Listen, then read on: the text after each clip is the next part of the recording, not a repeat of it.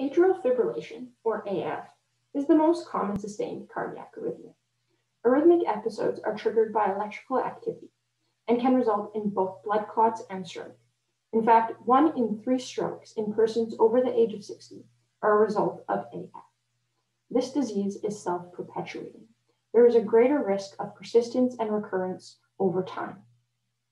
AF leads to rate dependent atrial changes, collectively defined as atrial remodeling. Shortening of the atrial effective refractory period, or AERP, and decreased conduction velocity are among the hallmarks of atrial remodeling. Pharmacological strategies to inhibit remodeling, thereby reducing the self perpetuating nature of AF, are of great clinical value. Cannabinoid receptor ligands may exert cardioprotective effects.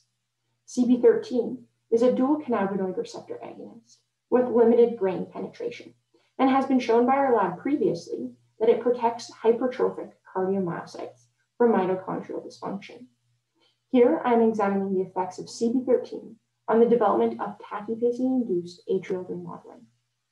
Rat hearts are perfused in a Langendorff setup with CB13 or vehicle control. Hemodynamic properties of non-paced hearts were examined conventionally, and in another set of hearts, program stimulation protocol was performed before and after atrial tachypacing using a novel mini hook platinum electrode.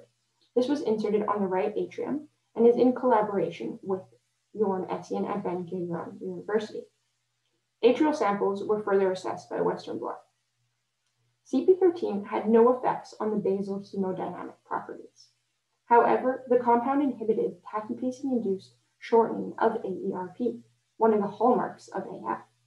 We also found that phosphorylation of AMPK alpha at residue threonine 172 was increased, suggesting upregulation of mitochondrial biogenesis. Furthermore, protein expression of PGC1 alpha was also increased by CB13 compared to vehicle in both paced and non-paced hearts.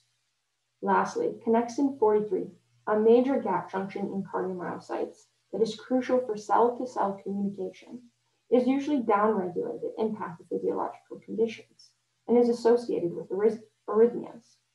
We not only found that connexin 43 was downregulated by tachypacing, this effect was diminished by CB13.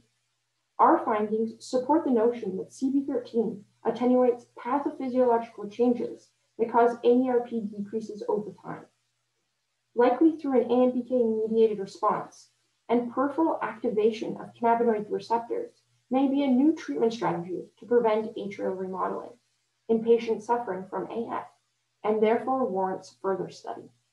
Thank you.